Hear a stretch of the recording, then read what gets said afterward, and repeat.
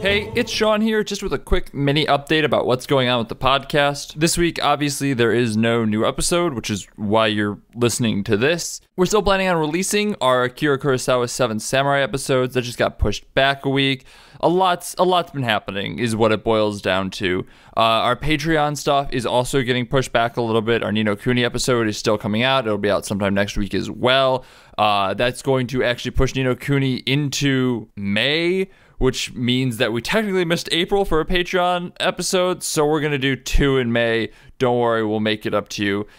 A lot happened over the past week, and we apologize for the delay, but we promise we're still here. We, do our best to not miss weeks, but sometimes it's just unavoidable. So we'll be back next week, and apologies.